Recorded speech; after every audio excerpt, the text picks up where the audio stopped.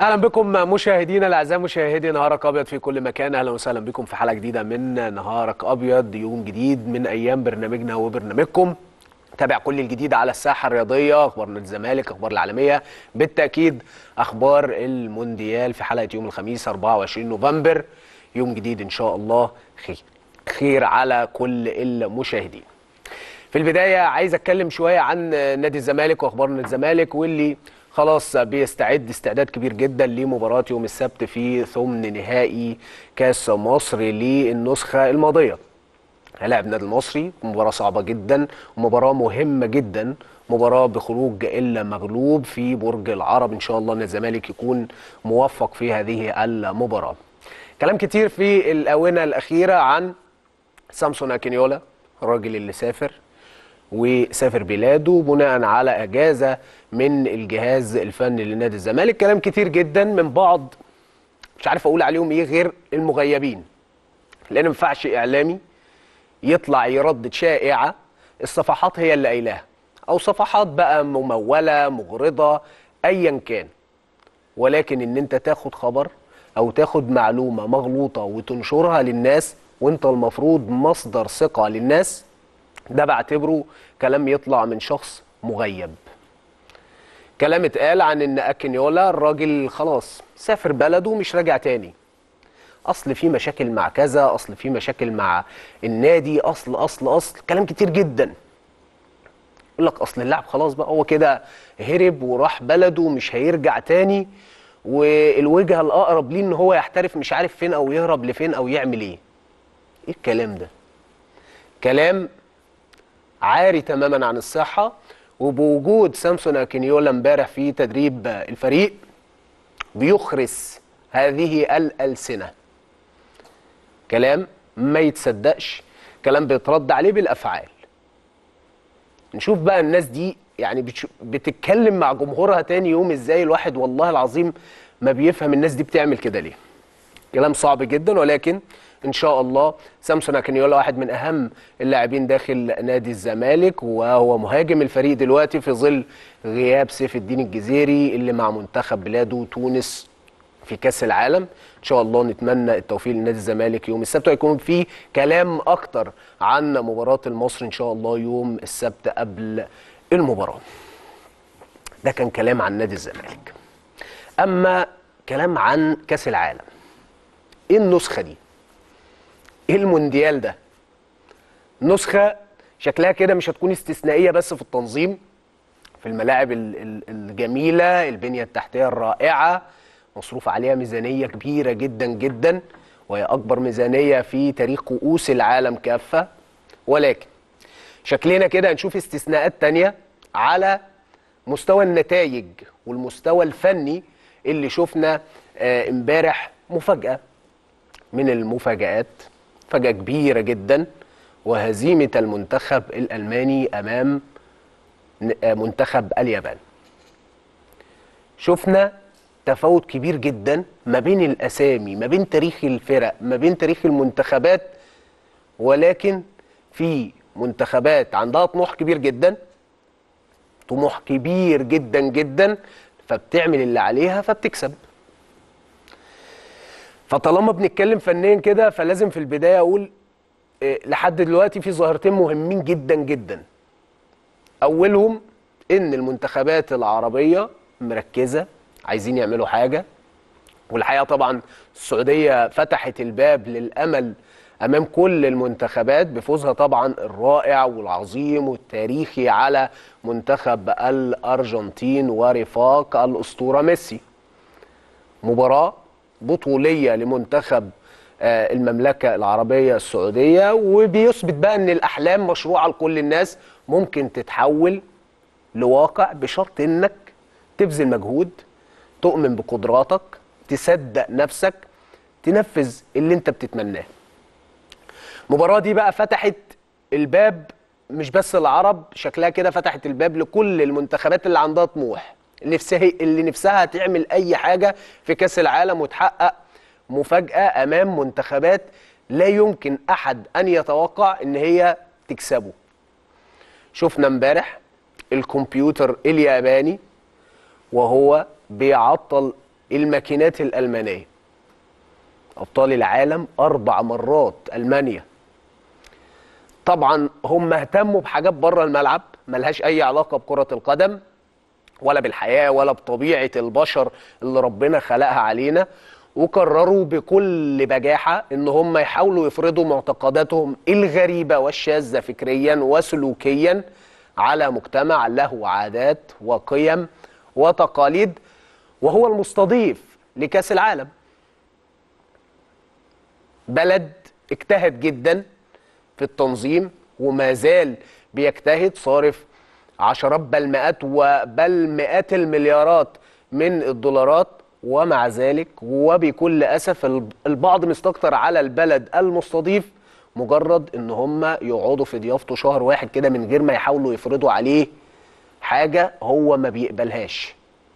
ويستحيل يوافق عليها أو على فرضها. نتخيل كده الوضع لو الدنيا مقلوبة أو الوضع معكوس. تخيلوا لو البطولة دي مثلا بتقام في ألمانيا وإحنا بنحاول مثلا ندعو لأي حاجة بعيدة عن الكورة وبتمثل سلوكياتنا أو قيمنا أو عاداتنا وتقاليدنا اللي هي هتبقى مختلفة عن ألمانيا. تخيلوا رد فعلهم هيكون إيه وقتها؟ فالواحد عايز يبقى فاهم. فالواحد من امبارح فرحان وسعيد إننا وصلنا لليوم إن البعض من اللي كانوا بيتشددوا بقى بمعاني الحرية جايين النهارده يصرخوا وعايزين حريتهم على أرض عربية. فيا سبحان الله حاجة في منتهى الغرابة.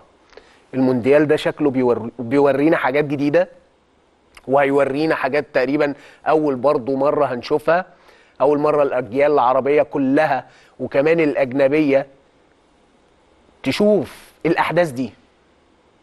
فللمرة المليون حريتك بتتوقف تلقائيا لما تصطدم بحريات الآخرين وتتعدى على أبسط حقوقهم. فما بالك بقى إن لو الآخرين دول أصحاب البلد واللي أنت جاي ضيف عليهم أصلا. فما حدش من اللي علمك حرية قال لك واجبات الضيف ولا انت عارف حقوقها بس؟ فشفنا امبارح طبعا ردود أفعال كبيرة جدا على مواقع التواصل الاجتماعي المصرية والعربية والعالمية على خسارة منتخب ألمانيا المفاجأة. هتلاقوا فرحة غير طبيعية. منتخب لو كان في حد متعاطف معاه فهو افتقد كل مشاعر التعاطف والاحترام فما كانش غريب ابدا تلاقوا الناس فرحانة. فرحانة فيه وشمتانة فيه وفرحانة إن هو بيخسر. بعد ما قدم كل حاجة تقريبا في الشوط الأول شفنا آه في فوارق كبيرة جدا فنية. ضيعوا فرص كتير جدا في الشوط الأول. كان ممكن يخرجوا مثلا كسبانين 3 4 في الشوط الأول بس ولكن هم أحرزوا هدف. فما تعلموش من درس السعودية والأرجنتين في الماتش اللي كان أول امبارح فكان التحول المفاجئ في الشوط الثاني. خسروا في ظرف 8 دقائق بالظبط صدمة ليهم صدمة كبيرة وكأنهم كان مكتوب لهم يخسروا امبارح. بسيناريو سينمائي. لو تعاد 100 مرة كده مش هيخلص بالطريقة دي. طبعا على عكس حالة الشماتة اللي كانت في خسارة ألمانيا كان في حالة فرح وفخر واعتزاز غير طبيعي بانتصار السعودية على الأرجنتين. ما كانش ليا فرصة إن أنا أبارك لهم. انتصار كده حسسنا إننا كلنا واحد اتوحدنا كعرب كلنا تحت راية العلم السعودي. والله كأننا بنشجع مصر. فرحانين لمنتخب السعودية كده فكرونا بالمباريات العظيمة اللي عملناها في كأس القارات. لو نفتكر كده أمام البرازيل في ماتش كان جميل جدا في 2009 بعد كده انتصار تاريخي بيتحققوا على إيطاليا في نفس البطولة بهدف نجم الدراويش محمد حمص. كانت فرحتنا وقتها طايرين. زيها زي أول امبارح. والله العظيم منتخب السعودية فرح كل العرب. انتصار خلى العرب كلهم مش فرحانين. يعني فرحة دي ما فرحوهاش قبل كده. وبتتوالى بقى. بتتوالى الفرحة بتعادل تونس مع الدنمارك. مباراة كانت صعبة جدا. منتخب تونس اتعادل في المباراة دي. مع استحقاق الفوز كان ممكن يكسب في المباراة دي. منتخب المغرب بعدها بيتعادل مع آه، كرواتيا وصيف كاس العالم. رغم إن نتائج كانت تبدو للناس كلها قبل كاس العالم إن نتائج كرواتيا ممتازة جدا. لا أنت تحس دلوقتي إن أي فريق مجتهد يقدر يكسب. يقدر يكسب طالما عنده العقيدة إن هو يكسب وعنده إرادة إن هو يكسب. فيقول لك لا أنا مش أقل من أي منتخب. عندي لعيبة محترفين زي زي دول بالظبط. بيلعبوا في نفس المستويات اللي بيلعب فيها نجوم منتخبات أوروبا كلها. فدي نقطة بتخلي لا أنا أقدر. أقدر طالما عندي إرادة. طالما مصدق نفسي ومآمن بقدراتي أقدر أكسب أي حد. أقدر أعمل نتيجة إيجابية قدام أي حد. ولكن بإذن الله يعني عموما آه، سواء تعادل تونس مع الدنمارك سواء المغرب مع كرواتيا هيكونوا مفيدين بإذن الله لأن تعادلات مع المنافسين المباشرين للمنتخبات العربية على التأهل في هذه المجموعات. مجموعة تونس يمكن خلاص فرنسا في في الصدارة. وخلاص يعني واخدة دفعة كبيرة جدا من لقب 2018 مديهم ثقة في إمكانياتهم بيحاولوا يسيروا على نفس الدرب ويبقى بقى السباق مع الدنمارك على الوصافة وهيساعد إن شاء الله تونس إن هي الماتش اللي جاي مش مع فرنسا. الماتش اللي جاي هيبقى مع أستراليا. فهتبقى بإذن الله في في فرصة كبيرة جدا لمنتخب تونس إنه يعمل حاجة. إن شاء الله. مجموعة المغرب يعني الوضع صعب شوية لأن بلجيكا مش في أفضل أحوالها. قدرت تفوز على كندا طبعا لأنه فوز شفناه طبعا صعب جدا وبشق الأنفس كده زي ما بيتقال بلغة الكورة. وبالتالي فمنتخب كندا منتخب محترم جدا عنده سرعات بدنية كبيرة جدا يقدر يرجع في حسابات التأهل وعنده الماتش الجاي كرواتيا. المغرب هتقابل بلجيكا. اللي شاف ماتش مصر وبلجيكا يقدر يقول إن أي منتخب عنده نفس الإرادة دي يقدر يعدي من بلجيكا. بلجيكا مش في أحسن حالاتها. يعني امبارح حتى كيفن دي بروين خد أحسن لاعب في المباراة ولما آه، اتعمل معاه لقاء قال لك أنا أنا ما خدتش أحسن لاعب في المباراة عشان أنا أفضل لاعب في الملعب. ممكن يكون اسمي هو اللي خلاني أخد أفضل لاعب في المباراة. عايز أروح بس أخيرا وليس أخيرا في آه، مباراة ألمانيا مرة تانية وليه المعلق الرياضي الكبير خليل البلوشي اللي قال على ألمانيا إن هي اهتمت بأشياء خارج كرة القدم فخسرت داخل أرضية الملعب. فخسرت داخل أرضية الملعب. فده الوضع لما تفكر خارج كرة القدم بتخسر كرة القدم. ولما تراهن على قضية خسرانة فأنت هتخسرها والقضية دي ملهاش علاقة بكرة القدم فأنت كمان هتخسر كرة القدم. وقال لهم في, الس... في الآخر كده مع السلامة. فبنحب نشكره طبعا على الكلمتين اللي قالهم في نهاية المباراة بعد صافرة الحكم. ده كان كلامنا عن المونديال كلامنا عن نادي الزمالك آه، في فقرة سامو قوس طبعا. النهارده هنواصل كلامنا عن كاس العالم هنتكلم أكتر عن مباريات آه، المنتخبات العربية. في نادي الزمالك هيلعب يوم السبت طبعا اللي وحشنا جدا جدا. فترة توقف كبيرة جدا. يوم السبت إن شاء الله نشوف نادي الزمالك في لقاء مهم جدا لقاء صعب أمام المصري في ربع نهائي نسخة الموسم الماضي من كاس مصر لنادي الزمالك حامل لقبه في 100 عقبة. عشان كده هيكون معانا ضيفنا كابتن محمد إبراهيم نجم وسط نادي الزمالك السابق. أما دلوقتي هنروح نستعرض معاكم كل الجديد على الساحة الرياضية أخبار نادي الزمالك الأخبار العالمية وبالتحديد أخبار المونديال في أخبار أو في فقرة اقرأ الخبر.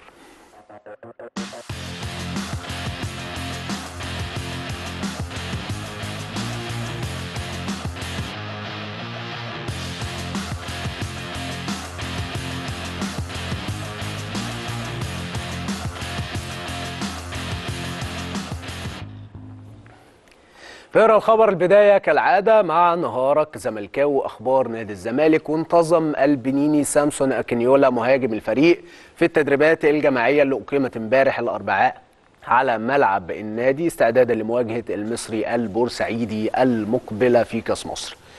وصل سامسون أكنيولا إلى القاهرة قادما من بلاده خلال الوقت اللي فات شارك اللاعب في التدريبات الجماعية امبارح بصورة طبيعية برفقة باقي زملائه في الفريق استعدادا للمباريات المقبلة. كمان شهدت تدريبات الفريق امبارح مشاركة حسام عبد المجيد مدافع نادي الزمالك عقب عودته من المشاركة مع منتخب مصر الأولمبي في معسكر نوفمبر الجاري وخوض مواجهتين وديتين أمام منتخب المغرب وشارك حسام عبد المجيد مدافع الفريق في التدريبات الجماعية بصحبة الفريق في الفقرات التأهيلية والبدنية بالإضافة إلى الفقرة الفنية استعدادا للمباراة المقبلة أمام النادي المصري البورسعيدي في كأس مصر. انتظم كمان حسام أشرف ومحمد طارق ثنائي الفريق في التدريبات الجماعية امبارح استعدادا لمواجهة المصري بعد ما كانوا موجودين مع منتخب مصر الأولمبي ولكن كمان شاركوا في مباراة مع فريق 2001 في بطولة الجمهورية للناشئين. أدى الثنائي حسام أشرف ومحمد طارق التدريبات الجماعية بشكل طبيعي واستعدادا طبعا للامكانيه دخولهم في قائمة مباراة المصري البورسعيدي. وضع الجهاز الفني للفريق برنامج تأهيلي خاص للاعبين خلال مران الأمس وقام الجهاز الفني للفريق بتخفيف الحمل البدني للاعبين خلال مران الأمس في ظل اقتراب المواجهة المقبلة أمام المصري البورسعيدي في كأس مصر أدى لاعبو الفريق تدريبات تأهيلية متنوعة باستخدام بعض الأدوات التأهيلية المخصصة في فترة زمنية قصيرة. وقاد هذه الفقرة أندريا فيليب سوزا مخطط الأحمال. وذلك تحت إشراف كابتن أسامة نبيه المدرب العام وكابتن أحمد عبد المقصود وروي أجواش المدربين المساعدين. كمان خصص الجهاز الفني للفريق فقرة لتدريب اللاعبين على التسديدات خارج على المرمى خلال التدريبات الجماعية امبارح استعدادا لمواجهة المصري البورسعيدي المقبلة. وأدى لاعبو الفريق فقرة في جزء من الملعب لإتقان التسديد من خارج المنطقة على المرمى من خلال التمرير. بين اللاعبين ومن ثم توجيه الكرة نحو مرمى المنافس بالشكل الأمثل وحرص كابتن أسامة نبيل المدرب العام كابتن أحمد عبد المقصود وروي أجواش المدربين المساعدين على الإشراف على هذه الفقرة وتوجيه تعليمات للاعبين والتركيز معهم على تنفيذ المطلوب في هذه الفقرة بشكل متقن. خض لاعبو الفريق تقسيمة فنية قوية في جزء من الملعب في نهاية المران بالأمس. وقبل انطلاق التقسيمة ألقى كابتن أسامة نبيل المدرب العام وريا جواش المدرب المساعد محاضرة فنية لشرح بعض الأمور الخططية للاعبين لتنفيذها خلال التقسيمة. وادى لاعبو الزمالك التقسيمة بقوة ظهر الجميع بمستوى فني مميز وجاهزية للمواجهة المقبلة.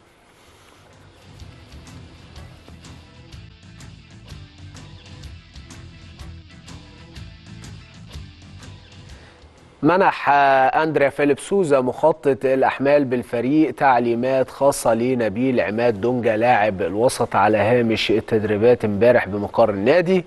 وقام أندريا فيليب سوزا بالحديث مع دونجا ومنح بعض التعليمات عقب انتهاء اللاعب من أداء الحصة التأهيلية اللي موضوع عليه تجهيزه للمشاركة في التدريبات الجماعية. خاض نبيل عماد دونجا حصة تأهيلية بالكرة على هامش مران امبارح ضمن المرحلة الأخيرة. من البرنامج التأهيلي الموضوع ليه استعدادا للمشاركة في التدريبات الجماعية خلال الفترة المقبلة؟ سلامات يا دونجا وإن شاء الله خلاص دي المراحل الأخيرة ويرجع يستفيد بيه نادي الزمالك. خاض لاعبو الفريق فقرة خاصة للتدريبات على تسديد ركلات الجزاء في نهاية ميران الأمس. طبعا شارك في هذه الفقرة جميع لاعبي الفريق من خلال التسديد على حراس المرمى بالتبادل. وحرص أسامة نبيه المدرب العام وأحمد عبد المقصود وروي أجواش المدربين المساعدين على الإشراف على هذه الفقرة ومتابعتها بكل دقة. نختم أخبارنا وحديث يتوجه الفريق آه، إن شاء الله الفريق الأول لكرة القدم بنادي الزمالك للإسكندرية بكرة الظهر للانتظام في معسكر مغلق ببرج العرب استعدادا لمواجهة المصري البورسعيدي المقبلة وقرر الجهاز الفني الفريق خوض المران ختامي بالإسكندرية يوم الجمعة بالليل استعدادا لمواجهة المصري البورسعيدي في دور الثمانية لبطولة كأس مصر.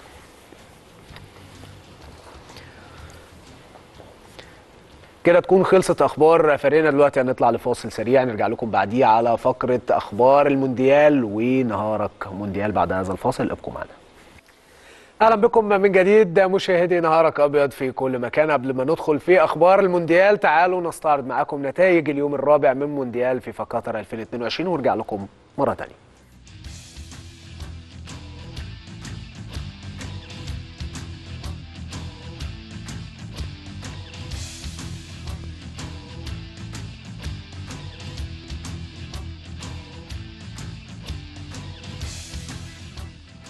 أول أخبارنا النهارده من عند المنتخب الإسباني اللي شكله ناوي إن هو يخش هذا المونديال وهو منافس قوي على هذه النسخة بعد ما أحرز نسخة 2010 طبعا شفنا بداية مميزة جدا تحت قيادة لويس إنريكي. عايز يغير الصورة السيئة اللي ظهروا عليها في آخر نسختين من المونديال. خرجوا من الدور الأول في نسخة 2014 ومن دور ال 16 في نسخة 2018 الأخيرة. ده بعد ما اكتسح بعد ما اكتسح المنتخب الأسباني نظيره الكوستاريكي بسباعية دون رد في المباراة اللي جمعت المنتخبين في الجولة الأولى من المجموعة الخامسة بدور المجموعات لبطولة كأس العالم 2022 لقاء أقيم على استاد الثمامة سجل أهداف المنتخب الإسباني كل من داني أولمو في الدقيقة 11 ماركو أسينسيو في الدقيقة 21 وفي الدقيقة 31 سجل فيران توريس الهدف الثالث من علامة الجزاء قبل أن من أن يزيد من أوجاع كوستاريكا بهدف رابع ليه في الدقيقة 54 في الدقيقة 74 سجل جافي الهدف الخامس وفي الدقيقة 90 سجل كارلوس سولير الهدف السادس وفي الدقيقة 92 أبى ألفارو موراتا أن يخرج خالي الوفاض من هذه المواجهة وسجل الهدف السابع لمنتخب إسبانيا. المباراة دي تعتبر نتيجة المنتخب الأسباني أمام كوستاريكا أكبر نتيجة في كأس العالم حتى الآن والنتيجة دي هي الأسوأ لمنتخب كوستاريكا في جميع مشاركاته في كأس العالم. بمناسبة النتيجة الكبيرة دي حابين نفكركم بس إن أكبر نتيجة سجلت إلى الآن في نسخة عام 1982 لما استطاع منتخب المجر الفوز على نظيره السلفادوري بنتيجة 10-1 وشهدت المباراة تسجيل أسرع هاتريك في تاريخ كاس العالم بتوقيع اللاعب لازلو كيس حيث سجل ثلاث أهداف في 8 دقائق تحديدا في الدقائق 70 73 و78 من هذه المباراة. وهو أول هاتريك يحرزه لاعب بديل وحظيت المباراة بإدارة الحكم البحريني إبراهيم يوسف الدوي. ودون اسمه في التاريخ كأول حكم خليجي يدير مباريات لكأس العالم. وعشان فوز منتخب اسبانيا على كوستاريكا بسباعية نظيفة حاجة خلتنا نشوف أرقام قياسية كتير جدا. فتعالوا نستعرض معاكم كده بعض الأرقام القياسية بعد هذه المباراة وبعد هذا الفوز الكبير. يمكن أرقام كتير جدا اتسجلت. طبعا جافي لاعب المنتخب الإسباني وبرشلونة سجل في شباك كوستاريكا وأصبح ثالث أصغر مسجل للأهداف في تاريخ كأس العالم بعد البرازيلي بيليه في كأس العالم 58 ضد السويد بعمر 17 عام و249 يوم. ده بالإضافة طبعا للأرجنتيني مانويل روسارس بعمر 18 عام و93 يوم أم أمام المكسيك في نسخة 1930 كمان حصل جافي على لقب رجل المباراه اللي تالق فيها وبشدة. واضح كده إنه رهن لويس إنريكي في كأس العالم وراهن عليه وراهن على الشباب سواء جافي أو بدري بيراهن عليهم وشكله بيكسب الرهان. من الأرقام القياسية برضو في المباراة أصبح الهدف الأول في المباراة اللي سجله داني أولمو هو رقم 100 بالنسبة لإسبانيا في تاريخ مشاركتها في كأس العالم وبكده أصبحت إسبانيا سادس منتخب يسجل 100 هدف في كأس العالم بعد البرازيل وألمانيا والأرجنتين وإيطاليا وفرنسا. أما الثلاثية فهذه أول مرة يسجل منتخب إسبانيا ثلاث أهداف في الشوط الأول فقط في كاس العالم منذ حدوث الأمر في كاس العالم 1934 أمام البرازيل.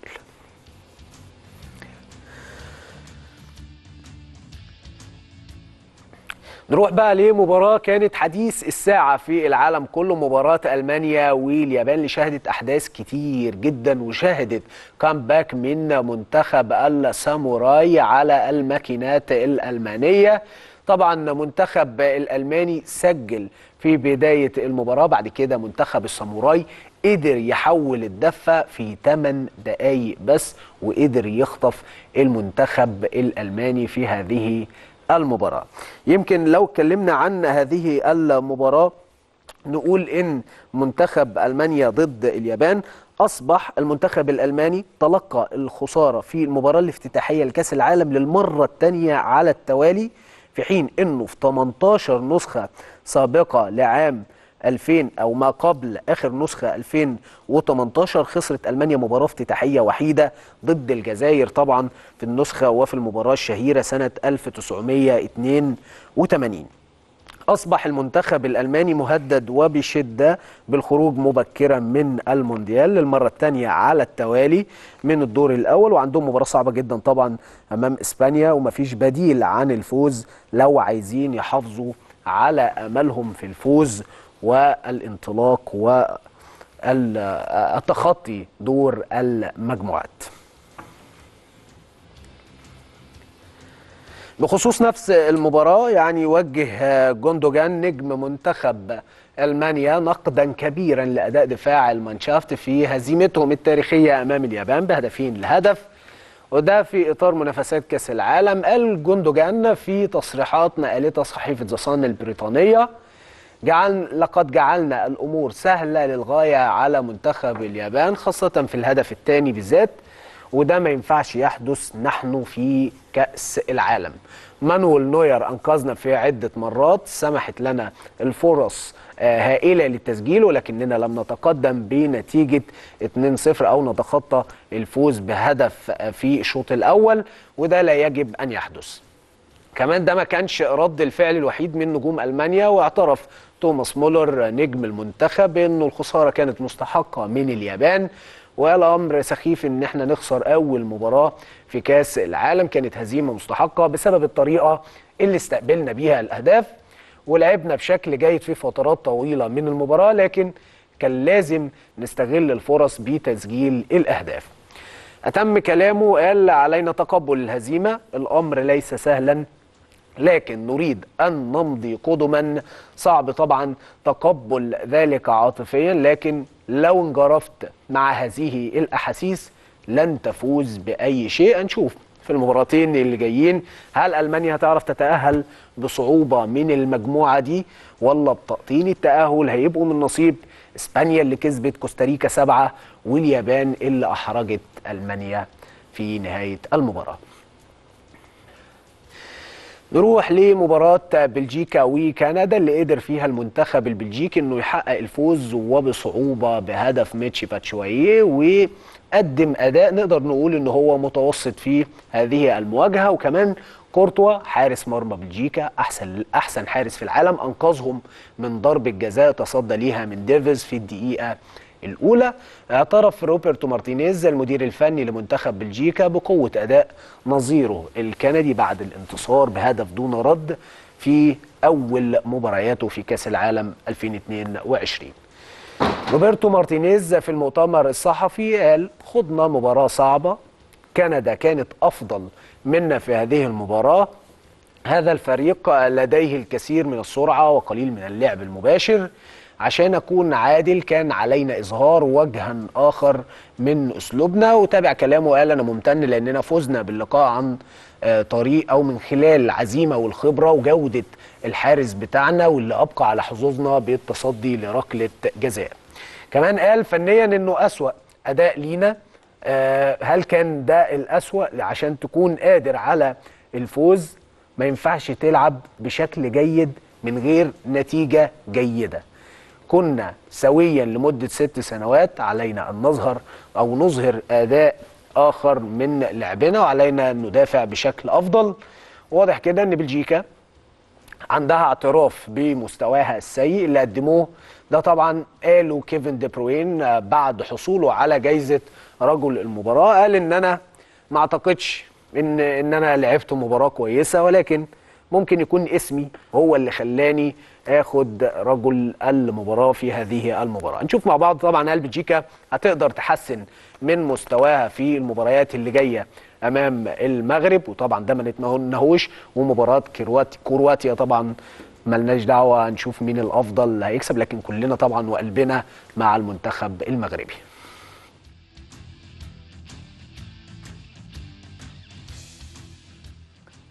أما المنتخب الكندي فواضح كده إنه هيكون حصاله هذه المجموعة خصوصا إنه ما عرفش يستغل تفوقه على أرض الملعب أمام بلجيكا ويخطف فوز في المجموعة الصعبة دي وحقق المنتخب الكندي العديد من الأرقام القياسية ولكن السلبية أبرزها إنه أصبح منتخب كندا ثالث المنتخبات في تاريخ كأس العالم اللي يخسر في أول أربع مباريات ليه في المونديال دون أن يسجل أي أهداف.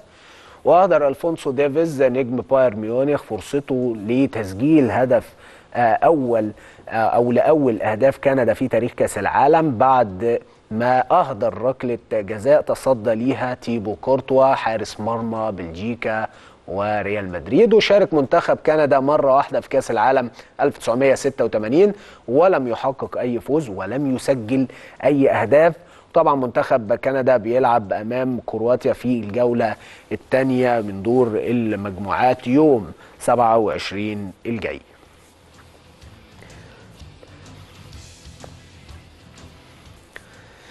أما منتخب المغربي الشقيق فقدم مباراة مميزة أمام كرواتيا وكان الأقرب للفوز في المباراة اللي انتهت بالتعادل السلبي السلبي بين المنتخبين. أشاد وليد الركراكي المدير الفني لمنتخب المغرب بما قدمه فريقه أمام كرواتيا وشدد بأنه يجب مواصلة العمل للتحسن في المستقبل.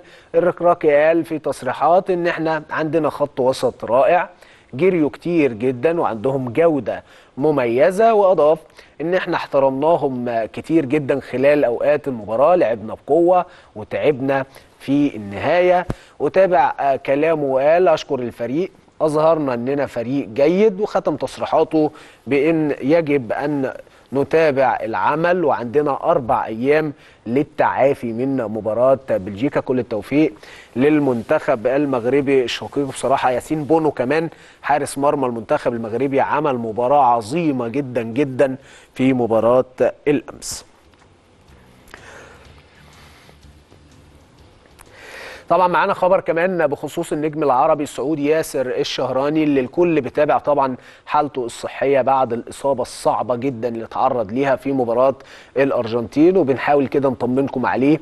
الشهراني طبعا غادر مدينة الدوحة واتجه لمدينة الرياض بعد مغادرة معسكر المنتخب والخروج من قائمة كاس العالم 2022 وأعلن المنتخب السعودي أن الشهراني سيجري عملية جراحية خلال الساعات القادمة في مستشفى الحرس الوطني في العاصمة السعودية. وإن شاء الله هنطمنكم عليه. وبخصوص طبعا بدايل الشهراني ففي تقرير صحفية قالت أن رينارد عنده ثلاث خيارات عشان يعوض غياب ياسر الشهراني خلال المباريات اللي جاية لمنتخب السعودية.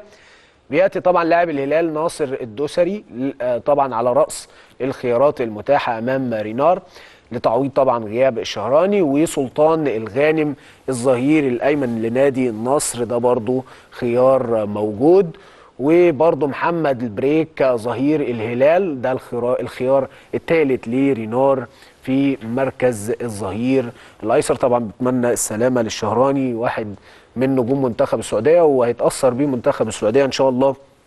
نتمنى إن البدائل دي تعمل نفس الأداء ويعملوا نفس الأداء لمنتخب السعودية زي ما شفناه أمام الأرجنتين. إن شاء الله يكملوا على خير وبإذن الله ما تبقاش مفاجأة بس لا تبقى استكمالا للمفاجأة كده نشوف منتخب السعودية إن شاء الله في الدور الثاني دلوقتي هنروح نظبط مع بعض ساعتنا ونتعرف على خريطة أبرز مباريات النهاردة.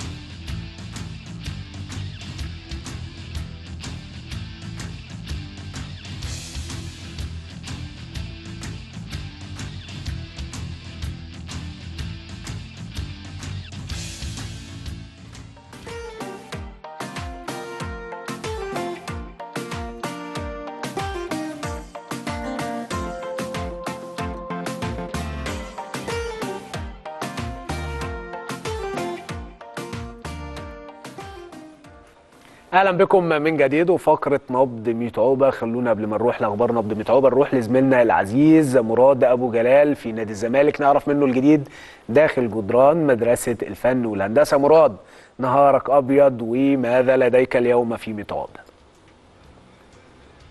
كل التحية ليك الزميل العزيز المتألق أحمد علي. برحب بيك برحب بجميع مشاهدينا ومتابعينا في كل مكان من هنا من نادي الزمالك. ويتجدد لقائنا الصباحي وفقرة نبض 100 عقبة واللي هنتكلم فيها اليوم طبعا بالتأكيد يا أحمد عن مباراة الزمالك والمصري البورسعيدي في دور الثمانية لبطولة كأس مصر واللي هتنطلق إن شاء الله يوم السبت القادم هناك على ملعب استاد الجيش ببرج العرب بالتأكيد لقاء هام جدا. نادي الزمالك بيسعى طبعا الحفاظ على لقب كأس مصر البطولة المفضلة لدى نادي الزمالك أيضا. هنتكلم عن مباراة كأس العالم المهمة جدا النهارده يا أحمد. طبعا مباراة الكاميرون وسويسرا اللي بتقام الآن وأيضا مباراة اوروجواي وطبعا المنتخب الكوري الجنوبي. والمباراة الأهم النهارده مباراة المنتخب البرتغالي والمنتخب الغاني واللي تقام الساعة السادسة مساء. وطبعا مباراة السهرة السيليساوي البرازيلي طبعا مع المنتخب الصربي بالتأكيد معي الآن طبعا نجم من نجوم نادي الزمالك السابقين الكابتن طبعا منتصر الجدي كابتن منتصر برحب بحضرتك على شاشة قناة الزمالك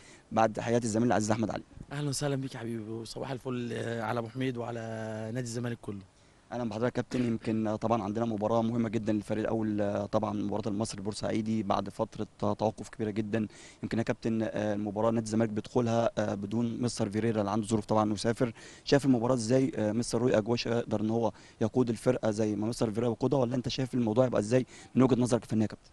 لا طبعا أنا شايف إن هو يقدر يديرها كويس خصوصا إن هو معاه كابتن أسامة نبيه وأحمد عبد المقصود ناس على مستوى عالي جدا يعني. فإن شاء الله يديروا الماتش كويس ويقدروا نعدي المصري إن شاء الله عشان نفوز بالكاس بإذن الله. كابتن منتصر يمكن فترة التوقف دي يمكن جت في صالح الزمالك إن هو يقدر يصحح الغلطات اللي وقعنا فيها في الماتشات اللي فاتت خاصة ماتش السوبر أيضا وماتش إنبي. فترة التوقف دي جت في صالح نادي الزمالك؟ أكيد طبعا بكل تأكيد. يعني آخر مرة قلت نفس الكلام اللي أنت بتقوله ده. هي في صالح نادي الزمالك لأن التوقيت بتاعها كان عندنا حوالي بتاع 12 أو 14 لعيب مصابين كان خسارة ماتش يعني هز الدنيا شوية فكنا محتاجين فترة زي دي نرجع نرتب نفسنا تاني ونعيد تنظيم البيت من أول وجديد. هروح معاك لقرار مهم جدا يا كابتن آه وبنسمن القرار ده لمجلس إدارة نادي الزمالك برئاسة المستشار مرتضى والمشرف على مع الكورة طبعا أستاذ أمير آه إن هم سمحوا لمستر فيريرا وذللوا له كل العقبات إن هو يسافر طبعا عشان الظروف اللي فيها زوجته طبعا. آه طبعا دي آه حاجة مهمة جدا أو حاجة محترمة يشكر عليها مجلس إدارة نادي الزمالك. لا والله طبعا الحاجات الإنسانية دي سيادة المستشار في حتة تانية فيها بصراحة ما توصاش الحالات الإنسانية دي كلها بصراحة يعني بيتعامل بشكل كويس جدا فيها. يعني أنا أعتقد إن حتى يعني واحد من الناس عم الكابتن سعيد الجداي كان هو مريض طبعا إصيب وقع جاله كسر في مفصل الحوض. في خلال 3 4 أيام كان حدد له حددوا له عمليه وعمل عمليه وخرج بعديها بيومين على طول من غير يعني ما حد يتكلم على طول ولا ولا ضوضاء ولا ضجيج ولا الكلام ده. بصراحة في الحالات الإنسانية دي هو ما يتوصاش بصراحة. دي حقيقة يا كابتن. هروح مع حضرتك بقى لمباراه كاس العالم طبعا والاداء المشرف للمنتخب السعودي اللي ادى ثقة للمنتخبات العربية وكمل عليه طبعا المنتخب التونسي أمام المنتخب الدنماركي. تعادل مهم جدا. أيضا المنتخب المغربي امبارح قدام المنتخب الكرواتي. يمكن المنتخب التونسي بفوزه على فرقة بحجم الأرجنتين يا كابتن ادى ثقة لجميع المنتخبات العربية يا كابتن. بس كنت عايز بس أروح لحتة في ماتش المصري بس قبل ما نخش للنقطة دي. أه بقول لعيبة نادي الزمالك أه جماهير نادي الزمالك أنتوا الفترة اللي فاتت دي عودتوها على الفوز بالبطولات. إحنا عايزين الثلاثه منت عايزين ماتش الكاس ده عايزين تلعبوا بروح قتالية زي ما تعودنا منكم عشان نقدر إن شاء الله الرحمن نكسب ونرجع لمنصات تتويج تاني. ان شاء الله كابتن فرقه الزمالك لعبوا كبار جدا واداوا باذن الله يقدروا إن هم يكسبوا ويصعدوا طبعا لقبل النهائي البطولة المحببة لنادي الزمالك بطولة الكاس.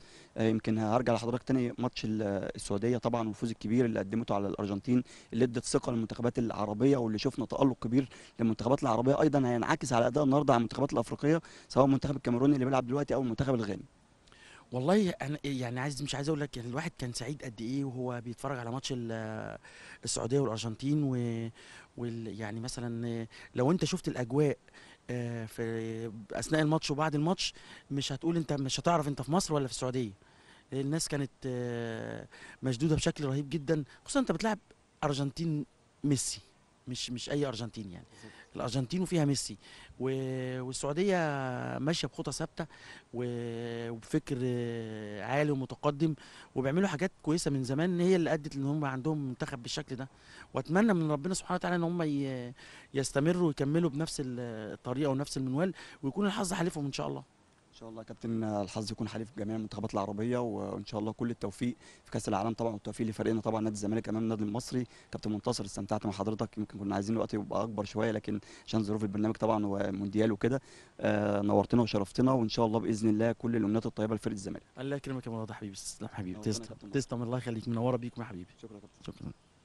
يمكن زميلي العزيز أحمد علي ده كان لقاءنا مع الكابتن منتصر آه، الجدي طبعا نجم نادي الزمالك السابق اتكلمنا معاه عن مباراة الكاس القادمه أمام النادي المصري البورسعيدي وأيضا بعد مباريات كاس العالم. زميلي العزيز أحمد يمكن نادي الزمالك هيقيم معسكر مغلق غدا الجمعة إن شاء الله في مدينة برج العرب استعدادا للقاء الهام أمام نادي المصري البورسعيدي. كل الأمنيات الطيبة إن شاء الله إن نادي الزمالك يقدر يرجع بفوز وطبعا يصعد الدور قبل النهائي في البطولة المحببة بطوله كأس مصر الآن. زميلي العزيز أحمد من نادي الزمالك إلى نهارك أبيض نهارك أبيض زميلي العزيز احمد أشكرك جدا زميلنا العزيز مراد أبو جلال زميلنا المميز من داخل ملع أو من داخل نادي الزمالك والشكر موصول كمان للكابتن منتصر الجدي نروح لأخبار نبض 100 عقبة وفاز الفريق الأول لكرة السلة بنادي الزمالك سيدات على نظيره الشمس بنتيجة 88 81 في اللقاء اللي جمع بينه امبارح الأربعاء على الصاله المغطاة بنادي ضمن منافسات بطولة الدوري بنظام البيست أوف 3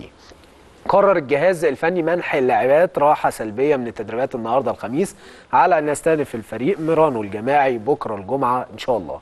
مستعد الفريق لمواجهة الشمس في اللقاء الثالث. بين الفريقين واللي هيتم تحديد موعده حتى لم يحدد موعده حتى الآن وبتكون الجهاز الفني لسيدات السلة بالزمالك بقيادة كابتن عمرو عاشور مدير فني كابتن شريف زكريا مدرب عام. كل التوفيق ليهم بإذن الله فيما هو قادم. دلوقتي ميعاد فقرة الشارع الأبيض. هنروح على الشارع الأبيض ونرجع لكم مرة تانية.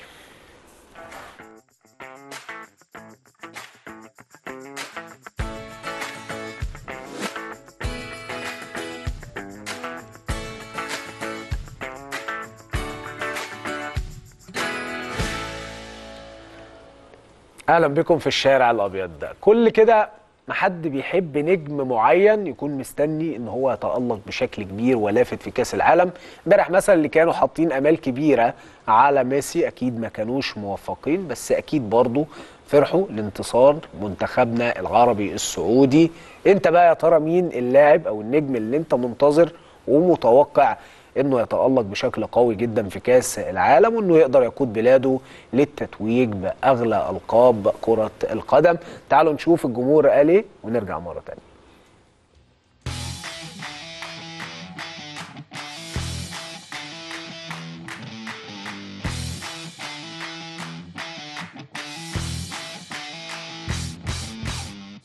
قولي كريستيانو امبابي ميسي عندك نيمار. بأي شكل من الأشكال يعني شايفه فارق قوي مع منتخب بلاده؟ شايف كريستيانو رونالدو هيعمل حاجة كبيرة مع بلده إن شاء الله مع البرتغال. وقال لو كسبوا هيعتزل. إن شاء الله. هو قال بعد البطولة لو خدت البطولة هعتزل إن شاء الله. يعني كريستيانو رونالدو طبعا عشان هو أكتر واحد فرق مع منتخب بلاده مش زي بقية المنتخبات التانية زي بلجيكا مثلا والبرازيل. بلجيكا مثلا تلاقي فيها هازارد ودي بروين وكراسكو آه، البرازيل نفس الكلام نيمار في لعيبة كتير يعني. لكن كريستيانو هو اللاعب الوحيد اللي يقدر يشيل منتخبه على كتفه لوحده بصراحة. أو السنين اللي فاتت برده كان نفس الكلام. فهو اللاعب المؤثر جدا في المنتخب بتاعه بصراحة. أكيد بالطبع يكون نيمار منتخب البرازيل منتخب مكدس بلعيبة النجوم في الدوري الإنجليزي والدوريات العالمية الأوروبية. أعتقد نيمار هيفرق كبير مع اللعيبة اللي في الهجوم. جابريل جيسويس مارتينيلي لعيبة جامدة في المنتخب البرازيلي. وأنا أعتقد المنتخب البرازيلي هو اللي مرشح بالنسبة لي أنا. هيبقى النهائي إن شاء الله ما بين البرازيل وفرنسا بإذن الله. شايف إن كريستيانو الموسم ده كأس العالم ده إن شاء الله هياخده عشان هو قايل إن هو احتمال يعتزل احتمال كبير يعتزل بعد كأس العالم. ولو خد كأس العالم ده هيبقى نسبة اعتزاله كبيرة لأنه طبعا خد كأس العالم الأخير ليه وكده. فاحتمال يعتزل بس كريستيانو إن شاء الله يفرق كأس العالم ده وإن شاء الله ياخد كأس العالم ده. هو احتمال كبير كريستيانو عشان النهارده ميسي خسر النهارده قدام السعودية 2-1 فاحتمال كبير كريستيانو هيبقى آخر كأس عالم ليه وعايز ياخد البطولة. بس هيبقى فهيبقى ليه أهمية كبيرة قوي في الملعب إن شاء الله وهياخدوا البطولة. كريستيانو رونالدو. يعني هو المؤثر الوحيد في الفريق هو الدافع الفريق. يعني لو هنتكلم عليه آه، كأس العالم اللي فات في 2018 آه، هاتريك في أسبانيا. هاتريك ده لسه لحد دلوقتي العالم كله بيت- بي- بيتكلم عليه. وزي ما قال بر- برضو برناردو سيلفا إحنا هنقاتل في البطولة دي لأجل كريستيانو رونالدو يعني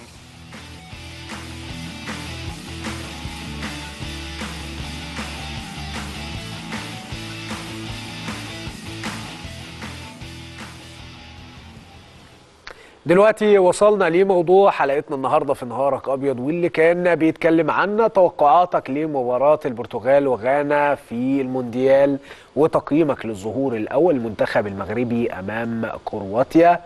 تعالوا كده نشوف آراء جمهورنا على ال social media ونبدأ من عند مين؟ من عند محمد أنور اللي بيصبح علينا وبيقول اولا أتوقع فوز البرتغال 2-0 ثانيا تقييم لاداء المغرب إنه كان جيد ونجح في الحصول من وصيف النسخة الماضية على نقطة قد تفيده في المباريات القادمة وتساعده على الوصول للأدوار التالية إن شاء الله زملكاوي الفخر ليا وبشجع المنتخبات العربية وكلنا بنشجع المنتخبات العربية يا أستاذ محمد.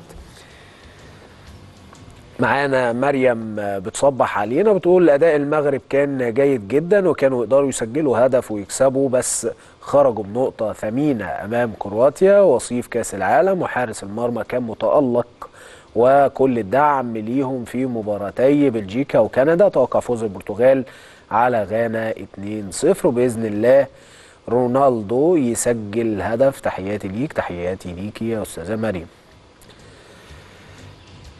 يوسف حسن بيصبح علينا وبيقول أتوقع إن المنتخب البرتغالي يفوز على المنتخب الغاني 3-1 أداء المنتخب المغربي كان قوي جدا قدم أداء عظيم وإن شاء الله القادم أفضل زملكاوي وأفتخر.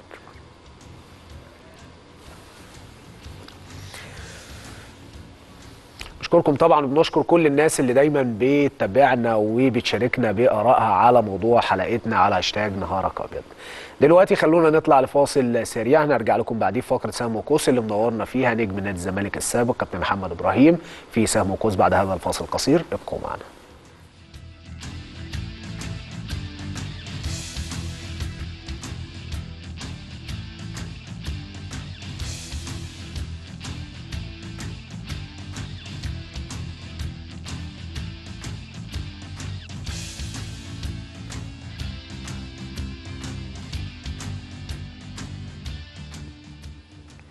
أهلا بكم من جديد مشاهدي نهارك أبيض في كل مكان. وصلنا لفقرة سهم وقوس و48 ساعة وهيعود نادي الزمالك لقطار متواصل من المباريات لن يتوقف إلا مع نهاية الموسم. مرحلة مهمة جدا هنبدأها بمباراة كأس مصر أمام المصري. مواجهات الكأس كده زي ما إحنا عارفين ما فيهاش تعادل. فاللقب أو الحفاظ على لقب كأس مصر مطلب أساسي لجماهير نادي الزمالك اللي رغم استمتاعها المؤكد بمباريات كأس العالم لكن أكيد نادي الزمالك وحش. للمزيد وهنتكلم أكتر عن تفاصيل في أخبار نادي الزمالك في وضع نادي الزمالك دلوقتي. هنتكلم كمان عن كأس العالم مع ضيفنا العزيز اللي منورنا وبيسعدني ويشرفني دايما إنه يبقى موجود معانا كابتن محمد إبراهيم نجم الزمالك السابق. كابتن هيما. حبيبي يا شرف ونور. نهارك أبيض ونهار أبيض على كل الزملكاويه آه، شايف الفترة دي إزاي؟ فترة توقف لنادي الزمالك آه، ناس كتير شايفة إن هي كانت افيد نادي هيستفيد من فترة التوقف دي نادي الزمالك، أنت شايفها إزاي في الفترة دي في ظل إن في بعض اللعيبة خلاص في المرحلة الأخيرة من التأهيل شايف كيفية استفادة الجهاز الفني ونادي الزمالك والفريق ككل من الفترة دي؟ بص أنا ليا وجهة نظر مختلفة شوية إن الفترة دي أنا شايفها مضرة للنادي مش مفيدة. آه ليه مضرة؟ لأن أنت يعني تقريبا القوام الرئيسي بتاعك كله ما كانش موجود في فترة توقف.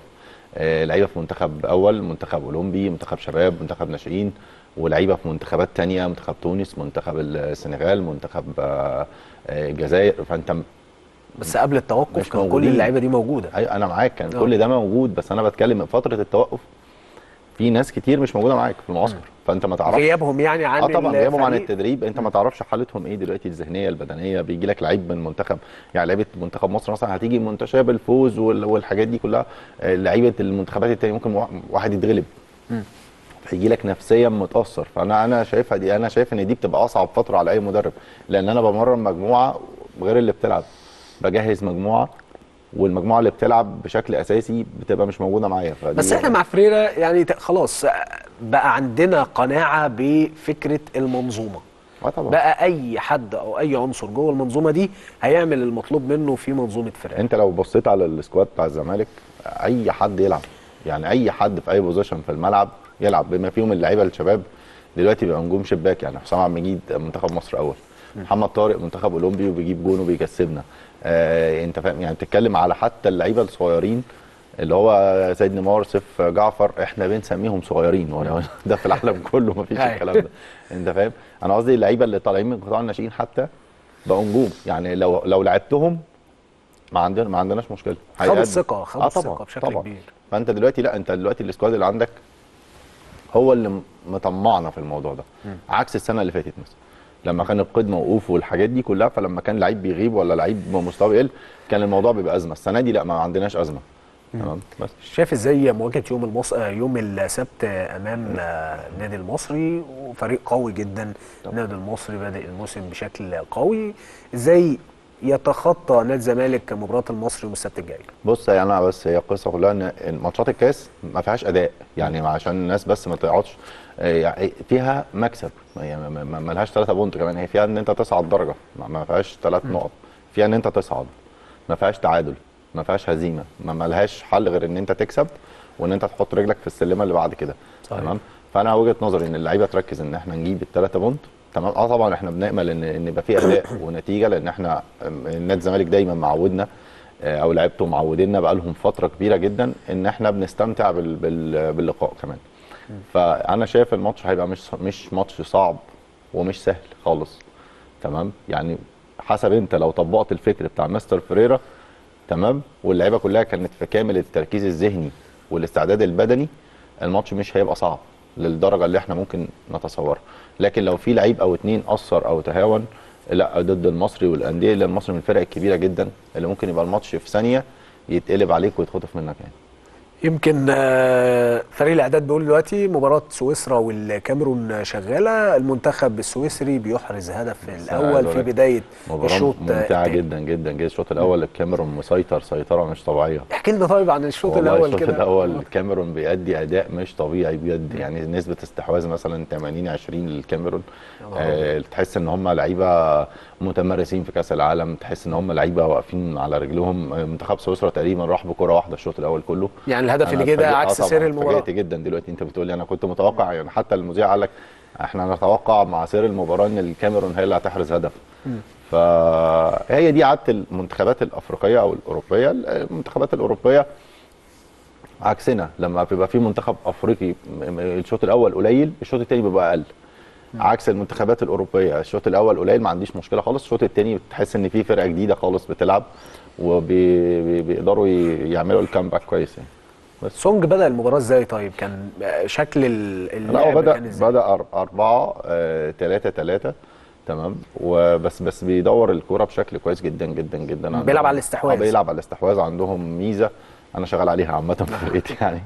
إن أنا دلوقتي وقت ما بتزنق من أي حتة في الملعب برجع الكورة لحارس المرمى تاني وخصوصا إن أونانا بيلعب برجله كويس جدا وببتدي أفتح الملعب وببتدي أهدى وابتدي أحضر تاني من تحت. فهو عمل كده طول طول الجيم طول الماتش. بننقل بننقل بنستحوذ اتقفلت بنلعب على الجون تاني ونرجع ونفتح خطوطنا ونقف صح ونبتدي ننقل ونبتدي ندور الكورة ونطلع بيها. الطريقة دي يمكن نادي الزمالك جربها في مرة بس كان ما كانتش موفقة خالص مع نادي الزمالك فترة من الفترات لا ف... الحتة إن أنت مع كابتن إيهاب جلال بالتحديد يعني. هو بيحب يبدأ دايما من عند حارس المرمى فكان بتحصل أخطاء كتير جدا. هي القصة كلها هل أنا حارس المرمى بيلعب برجله كويس ولا لأ؟ يعني حارس المرمى اللي عندي لازم ادخله في الوحده التدريبيه ولازم يبقى عنده وحده تدريبيه على اللعب بالرجل زي اللعيبه بالظبط ولازم احطه شوية في التقسيمه يلعب برجليه. انت فاهم؟ أنا يعني أنا بعمل كده عندي. فلو ما عنديش المقاومات ما ينفعش ابدا يعني ما ينفعش اعمل التكتيك بتاعي أو الفكر بتاعي وأنا ما عنديش اللعيبه اللي تنفذ ده. بس فكابتن إيهاب أيامه كان تقريبا جنش هو حارس الأساسي. لا كان أحمد الشناوي. أو أحمد الشناوي. يعني أنا شايف أحمد يعني عنده مشكلة شوية في في في- حتة إن أنا ألعب برجلي. آه، كان لازم يدي يعني يدي جزء في التدريب أو يدي البرنامج التدريبي لمدرب الحراس إن أنت تشتغل مع أحمد الشناوي برجليه أكتر لأن أحمد الشناوي من الحراس المميزة جدا جدا تحت العرض. آه. فأنا عندي مشكلة في رجلي. لازم أشتغل عليها. كان لازم كابتن إيهاب كان لازم يعمل دي. الكاميرون كانت عاملة كده. الكاميرون كانت آه طبعاً- مستحوذة. طبعا ده مش طبيعي. استحواذ بقول لك 80 20 مم. أنا للحظة حسيت إن سويسرا حسيت إن الكاميرون دي منتخب آه، فرنسا برازيل الحاجات دي وبتلاعب منتخب مثلا كوستاريكا بتلاعب الحاجات اللي هي القليلة دي آه، للحظة من اللحظات. يعني نسبة استحواذ مثلا كبيرة جدا جدا جدا. وكمان راحوا بأكتر من فرصة. يعني راحوا بثلاث أربع فرص. محققين. فانا أنا فاجئت دلوقتي إن سويسرا اللي كسبانه 1-0 طيب تعال نرجع تاني لنادي الزمالك وشايف إزاي غياب فريرة عن الفريق؟ طبعا لظروف آه، أسرية خاصة طبعا كلنا آه، عرفناها. شايف آه، روي أجواش معاه كابتن أسامة نبيه مع أحمد عبد المقصود. شايفهم إزاي يقودوا منظومة نادي الزمالك في مباراة المصري؟ بص إحنا الأول بن بن طبعا بنعزي مستر فريرا يا ربنا يجعلها آخر أحزان يعني. آه، ده ظرف طارئ طبعا خارج عن إرادة الكل فلازم يبقى متواجد آه، طالما ظروف عائلية خارج عن الإرادة بتبقى يعني حالة حاجات إنسانية إن أنت بت- بتسمح للمدير الفني بتاعك إن هو يروح. آه، أنا شايف إن الكابتن أسامة والمساعد بتاع مستر فريرا وأحمد عبد المقصود شايف إن هم لا يقلوا قيمة عن مستر فريرا بس هي القصة كلها هو لازم يحدد الأدوار ويعني لازم هو يبقى متابع بشكل جيد من هناك. ولازم يبقى محدد أدوار ال- ال- الجهاز ومحدد أدوار ال- الناس مين هيبقى موجود مين هيقف على ال line مين هي التشكيل بتاعي عامل إزاي. لازم يحط سيناريوهات للماتش لو فلان مش كويس لازم نطلع فلان ننزل فلان لأن أنا مش هتصل بيك في في البرتغال. أقول لك أنا زيزو م- مش مش موافق أجواش أطلعه مدرب كبير. خلي بالك يعني. أنا معاك بس هي هي القصة كلها يعني. ما هو أنا دلوقتي أنا دلوقتي أنا أنا المدير الفني. وعندي ثلاثة أربعة آه، مدربين كويسين جدا. يعني يعني كابتن أسامة نبيه مدير فني. صحيح. آه، أحمد عبد المقصود مدير فني أصلا. بالظبط، أنت آه فاهم؟ في السعودية طبعاً، آه، هو المدرب. العام. فأنت دلوقتي كل واحد أنا ممكن كل واحد يبقى ليه فكر. فمين اللي فكره هينطبق في الماتش ده؟ مين اللي فكره هيمشي؟ مين اللي رأيه هيمشي؟ أنا عايز أنزل نداي وأنت عايز تنزل زيزو وده عايز انزل دونجا. مين مين اللي هينزل؟ أنت فاهم؟ دي بس دي دي لو اتحلت خلاص أكيد محلولة طبعا. مش قصدي أنا مش قصدي إن هي في فيها مشكلة أنا. بتكلم في منظومة. أنا بتكلم مستر فريرا لازم ده يبقى معمول. لازم ده يبقى معمول. لازم يبقى فيه سيناريوهات للماتش. لو فلان ينزل فلان لو فلان ينزل فلان لو هنغير التكتيك يبقى فلان مكان فلان أنت فاهم؟ هي دي ال system ده والسيناريوهات وإن أنت تبقى قاعد مذاكر الم- المباراة كويس وإن أنت قاعد حافظ لعيبتك بشكل كويس وعارف لو مين. إحنا بنشوف في أوروبا اللعيب يقع اللعيب يقوم يعديك على طول. آه وخلي. بالك مش المدير الفني اللي بيندى على اللعيب. في مساعدين واخدين تعليمات إن لو أحمد هنغيره هينزل محمد إبراهيم. خلاص. فخلاص أحمد عمل كده فتلاقي المساعد محمد قوم سخن أو هو أصلا بيبقوا مسخنين طول الماتش بيقوم بينزل. هو ده السيستم اللي إحنا بنتكلم فيه. أنت فاهم؟ مش لسه هنقعد نفكر طب إلا إذا لو أنا هغير التكتيك بقى. أنا كمدير. فني هغير التكتيك بتاع اللعب مثلا أنا مغلوب وعايز أكسب آه، كسبان وعايز أحافظ آه، ع- متعادل آه، عايز أفتح الجيم عايز أنا أعمل حاجة بره الصندوق ده بيبقى قرار أنا بس الكوره. برضه ملهاش ملكة يعني. الكوره ملهاش حاجة ثابتة تلاقي برضه في لعيب المدرب حضره وسخن على الخط وعايز ينزله في مكان معين وسير المباراة قبل ما ينزل وهو بيسخن على الخط حصل حاجة جوه الملعب. حصلت معايا فكر إن هو يقعده حصلت معايا شخصيا الماتش ال- يعني بتحصل معايا في ماتشات الناشئين. حصلت معايا الماتش اللي فات. يعني كنت حاطط سيناريو كده system فيه اتنين لعيبة هينزلوا الشوط الثاني في التوقيت الفلاني. حصل عندي إصابتين. يا نهار أبيض. فما نزلوش. بوظت لك الدنيا. آه طبعا كل لعيبة طلبوا تغييرات. في position تاني خالص. فاللي هو قمت منزل اتنين تاني غير الاتنين اللي أنا كنت محضر. ليهم. بس أنا برضو كنت محضر يعني أنت فاهم؟ محضر إن ده لو وقع ده هينزل وده كده يعني فاهم؟ ف بس أنا سيناريو الماتش اللي أنا كنت راسمه اتغير. فعشان كده في اتنين ما شاركوش مكان الاتنين اللي أنا يعني أنت فاهم؟ في اتنين كنت هيشاركوا الماتش لا ما شاركوش والاتنين دول هم اللي نزلوا. بس فهي طبعا الكورة ملهاش ما أنت ممكن يعني أقول لك حاجة الناس كلها مثلا بتتكلم عن إن البرازيل البرازيل البرازيل تمام؟ طب انت ممكن اول ماتش البرازيل ده في اول خمس دقائق طردوا بينالتي على البرازيل تتغلب. الكوره بالذات ملهاش ما ينفعش تتوقع. السعودية كسبت الأرجنتين. ما ينفعش تتوقع. صحيح. ما ينفعش تتوقع حاجة خالص. انت فاهم؟ المغرب بتتعادل مع كرواتيا تاني العالم فانت ما ينفعش تتوقع أي حاجة في الكورة. فاهم؟ اليابان اليابان امبارح تكسب ألمانيا. بطل الع... يعني انت بتتكلم في حاجات لو خلي بالك الهزيمتين اللي هم المفاجأة في كأس العالم كلها جاية من كامباك يعني انت بتبقى خسران منتخب السعودية خسران واحد. خسران وده الأصعب خلي بالك. 1-0 وده الأصعب. لا ده مش خسران واحد بس. ده الشوط الأول خسران أربعة ده في ثلاث في ثلاثة ما اتحسبوش. لا، إحنا بنتكلم عن النتيجة الفعلية يعني.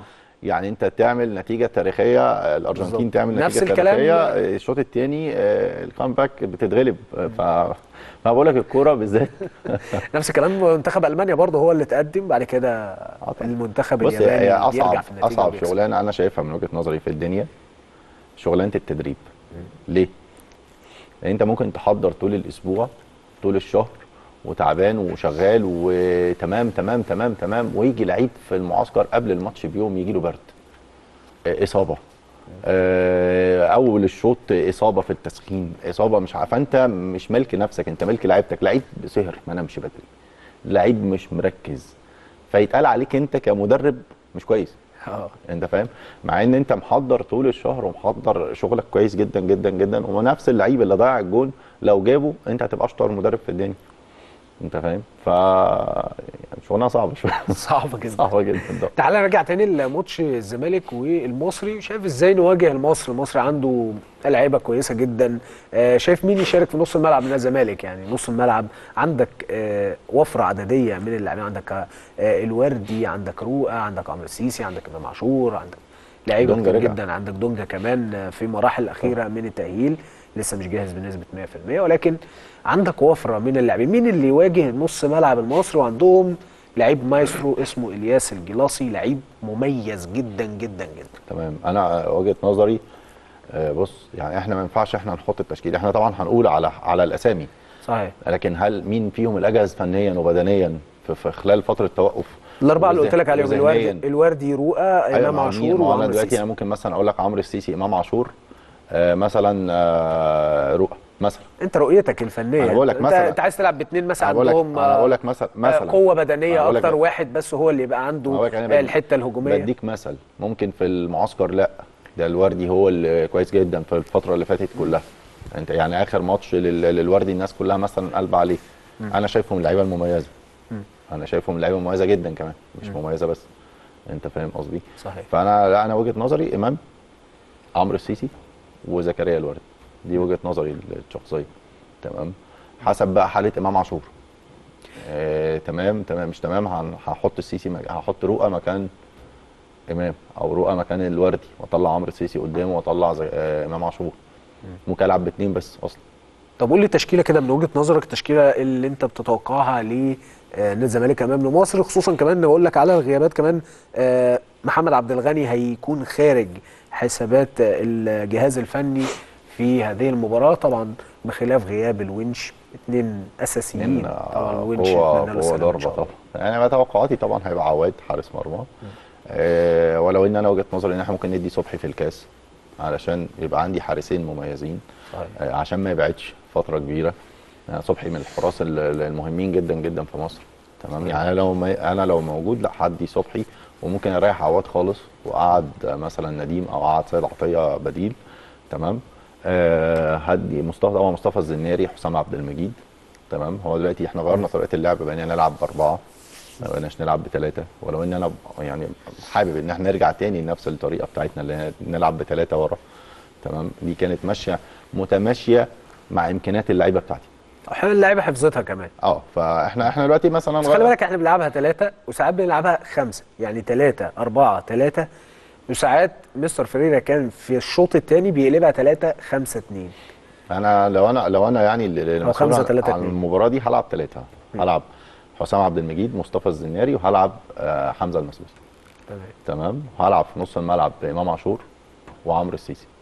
تمام. اثنين ديفندرين وهلعب ناحية الشمال حسب بقى الحالة البدنية يعني عبد الله جمعة فتوح رجع التدريبات تاني. بس حسب مين أجهز فيهم هلعبه. وهلعب الناحية الثانية بسيد نيمار صحيح. تمام. هلعب قدام زيزو وهلعب طبعا الجزيري مش موجود. هلعب زيزو وهلعب سامسون. وناحية الشمال بقى حسب ال- ال- الحالة البدنية ممكن مصطفى شلبي. ممكن آه، نضاي يخف بس تقريبا استدعوه منتخب السنغال. تمام. فممكن ألعب مصطفى شلبي وسامسون و وزيزو هو نضاي على فكرة لسه برضه آه، بيتقال لسه مصاب يعني آه، إبراهيم نضاي اتمنى له إن يعني شاء الله حاجات يعني كتير بس إحنا يعني إنه يقوم بالسلامة. لسه لسه لسه عنده إصابة في في العضلة الخلفية ولسه في المراحل التأهيل يعني الأولى. يعني. اتمنى له السلامة. على فكرة الزمالك عنده مصابين كتير جدا. فدي مشكلة بتواجه. كمان الفريق بعيدا عن الغيابات بقى مستشفى. عين اللي بتنتدب لعيبة من الزمالك. خلي بالك ما دي برضه من سوء حظ المدير الفني. أنا ممكن يبقى عندي انتدابات كتيرة وفجأة عندي تسعة مصابين مثلا 10 مصابين. ده اللي حصل يعني خلي بالك حصلت معايا أنا في نادي الاتحاد سكندري كنا رحنا كابتن طه بصر الله يرحمه. رحمة الله كان. عامل تيم جامد جدا جدا جدا. وقعدنا ست مباريات كنت أنا مصاب أنا والتسع لعيبة مصابين. قعدنا ست مباريات عندنا نقطة. يا نهار أبيض. قاموا ماشيين كابتن طه. جابوا كابرال. يوم ما كابرال اتعاقدوا معاه يوم ما نزل الملعب التسع لعيبة خفوا. فقعدنا 14 مباراة مكسب ورا بعض. يا نهار أبيض. فقالوا كابرال ده ال ال هو طبعا مدرب كبير. آه صحيح فاهم بس إحنا بنتكلم لو التسع لعيبة كانوا لأن التسع لعيبه نادي الزمالك خلي تسع بالك. لعيبة كانوا تسعة من ال 11 الأساسيين مع كابرال اللي كانوا مصابين. فأنت بتتكلم لو التسعة كانوا مع كابتن طه كان زمان الموضوع اختلف انت فاهم قصدي؟ فأنا بتكلم في دي إن أنت كمدرب كمان بتبقى ممكن معاك سوء توفيق. ما, ما أنت. فاهم؟ بس بس أنا التوفيق بيتحكم في الحدوتة كلها يعني. بس يا إما ليك يا إما عليك. بس كده. هي دي دي دي القصة كلها. تعال نروح لكأس العالم بقى وقول لي رأيك في في المنتخبات بصفة عامة. شايف كأس العالم إزاي؟ المنتخبات اللي لعبوا لحد دلوقتي. إيه اللي اللي لافت نظرك في كأس العالم في النسخة دي؟ بص أنا أنا عاجبني في كأس العالم ده إن الفرق كلها تحس إن هم كلهم جامدين يعني تحس إن الفرق كلها رايحة مركزة جدا. وفي فرق رايحة يعني تحس إن هي رايحة أداء يعني الفرقه اللي رايحة أداء مشرف دي الفرقه اللي اتغلبت ستات وأربعات والحاجات دي. الفرقه اللي رايحة ومركزة حتى لو أنا منتخب صغير اسمي صغير وبلعب منتخب كبير فكسب. صحيح. فدي بتغير لنا إحنا كمدربين مفهوم الكورة كله. يعني الكورة مش بالأسامي الكورة بالعطاء جوه الملعب وبالمجهود وبالمستويات. بس أنا عجبني جدا جدا جدا منتخب فرنسا. مم. لا حاجة لا مركز لا حاجة و- أداء متكامل وأداء متناسق وأداء حاجة حاجة مش طبيعية واستحواذ و... وكل حاجة. يعني يعني حتى ال... يعني المدرب بتاعهم جامب لو قال لك لو طلعت ال 11 ونزلت 11 تانيين هيأدوا نفس الأداء. ف... يعني أنت بتتكلم مثلا في 22 لعيب؟ 25 لعيب كلهم بيلعبوا جامدين. أساسيين في أقوى أندية في العالم ما تأثرش كمان بال- بالغيابات يعني لا، عنده لا، خمس ده غيابات عنده بنزيما وعنده عنده بنزيما بوجبا عنده بول بوجبا عنده كانتي عنده لا، لا، لا. آه نكونكو عنده لعيبة قوية جدا غايبين عن نص الملعب تقريبا الأساسي اللي كان بيلعب مع طلع ديمبلي ونزل كومان يعني أنا يعني دول أقوى اتنين في العالم في المكان ده فتطلع واحد أيوة. نزل واحد أنت فاهم أيوة. بتتكلم في إيه عنده مبابي ده هتحس إن هو يعني في لعيبة كده تحس إنها بتهزر. يعني؟ منتخب إنجلترا بيلعبوا ببساطة يعني. منتخب إنجلترا يعني إمبابي نزل جا- جاب جول وعمل assist يعني هتحس إن هو مش في كأس العالم يعني. هتحس إن أنا عادي دورة مع أصحابي كده ويعني أنت فاهم رايح أهزر شوية. آه، طب أنا هعمل لك جون يا جيرو وانت عامل لي آه، أنت فاهم؟ أيوة. تحس إن هم يعني لا فايقين لا جاهزين بدنيا لا محضرين ذهنيا. منتخب إنجلترا خلي بالك هيبقى مفاجأة ال- البطولة ديت. منتخب إنجلترا وإسبانيا اللي هم كانوا بره التوقعات خالص. صحيح هيبقوا مفاجأة البطولة دي وافتكر كلمتي. تعالى ال- نروح للمنتخبات العربية. السعودية المغرب وتونس وقبلهم قطر. قطر يمكن كانت البداية مش موفقة في مباراة الافتتاح. شايف إزاي مشاركة المنتخبات العربية خصوصا إن كله عمل نتائج آه، إيجابية ما عدا إيجابية ما عدا قطر. بص أنا شايف إن يعني هزيمة قطر ده شيء طبيعي. أنا أنا البلد المنظم. عندي ضغط جامد جدا جدا جدا عصبي على على اللعيبة وعلى الجهاز الفني. توقعاتي إن الماتشات الجاية منتخب قطر حي يعني المستوى الفني هيزيد لما المستوى الذهني أو التحضير الذهني يبقى أهدى شوية إحنا خلاص الضغط اللي علينا خلاص. إحنا كنا والافتتاح والبتاع ومش عارف إيه ولازم وإكوادور وهنكسب و... يعني هما يعني أنا مش عارف التوقعات اللي قالت إن منتخب الإكوادور ده ضعيف جابوها منين لا لا يعني مفيش ده- حد ده خلي بالك. متوقع الإكوادور في ناس ناس- ما متوقعة إن الإكوادور ممكن تبقى. حصان أسود ده البطولة الناس ما اتفرجتش على التصفيات ده الإكوادور ده مطلعة منتخبات جامدة جدا في جدا. التصفيات يعني, آه، في- بيرو آه، وباراجواي وتشيلي. وتشيلي ده دول منتخبات متمرسة في كأس العالم أصلا بالظبط أنت فاهم اورجواي في يعني باراجواي باراجواي باراجواي أنا قصدي يعني معاهم منتخبات جامدة جدا في التصفيات ومعاهم ارجنتين ومعاهم برازيل. ومعاهم وأنت صعدت. فأنت بتتكلم في إيه؟ أنت يعني أنت فاهم؟ فهي القصة كلها إن إحنا إن إن قطر أنا توقعاتي إن هي الماتشات الجاية هتبتدي تعمل أداء كويس. السعودية آه، مفاجئاني وأنا قلت كده يمكن في قناة النادي قلت آه، قبل الماتش قلت ال- المنتخب اللي أنا شايف إنه هيوصل لحتة بعيدة في كأس العالم منتخب السعودية ليه؟ علشان السعودية متمرسة في كأس العالم. متعودة يعني إحنا آخر أربع خمس ست نسخ بنشوف السعودية. بالظبط هم متواجدين باستمرار متواجدين. فهم الأخطاء لو أنا عندي أول كأس عالم أنا لعبته أخطاء 100% فبعديها بأربع سنين هيبقى 80% بعديها بأربع سنين هتبقى 60% لحد دلوقتي أخطائنا ابتدت تقل بشكل كويس. ولو ان خلي بالك الأداء الفني في المباراة ما كانش كويس. يعني أنت أنت المفروض مغلوب أربعة الشوط الأول. صحيح. دي كارثة. في الكورة كارثة. لو ما عالجتش الأخطاء دي الماتش الجاي ممكن اتغلب ثلاثة وأربعة. لو أنا عشت على نغمة إن أنا كسبت الأرجنتين وبتاع وخلاص ده الطموح ممكن اتغلب. الماتشات الجاية كلها. شايف آه، مين من المنتخبات العربية يقدر يتخطى دور المجموعات؟ أنا وجهة نظري الس- ال- ال- السعودية والمغرب. السعودية والمغرب. صحيح. مين المنتخب الأقرب لأنه يحصد هذه النسخة من كأس العالم؟ وجهة نظري أنا فرنسا. فرنسا. فرنسا طبعا. فرنسا تاخد آه كأس طبعا. العالم فرنسا تقدر تاخد كأس العالم مرتاح جدا. عندها سكواد مش طبيعي. طبعا البرازيل الناس كلها بتتوقع البرازيل. آه، البرازيل طريقها مش سهل خالص. يعني طريق البرازيل مش سهل. آه، لحد قبل النهائي. حتى لو تخطوا. هيقابلوا بس الأرجنتين. طبعا البرازيل طبعا أكيد يعني المرشحين بقوة. آه، أنا شايف البرازيل فرنسا لو ما قابلوش بعض أنا شايف ده النهائي المباراه النهائيه يعني قرر 98 تاني. آه يبقى انتقام بقى. البرازيل تنتقم. البرازيل. آه طبعا. آه كابتن محمد شرفتني ونورتني حبيبي أبو حميد ربنا يخليك. آه بشكركم شكرا جزيلا على المتابعة. كان معانا الكابتن محمد إبراهيم نجم الزمالك السابق. انتهت فقرة سم القوس وانتهت حلقتنا من نهارك أبيض. وانتهى أسبوعنا من نهارك أبيض. على أمل لقاء إن شاء الله في أسبوع جديد وحلقة جديدة من نهارك أبيض. إلى اللقاء.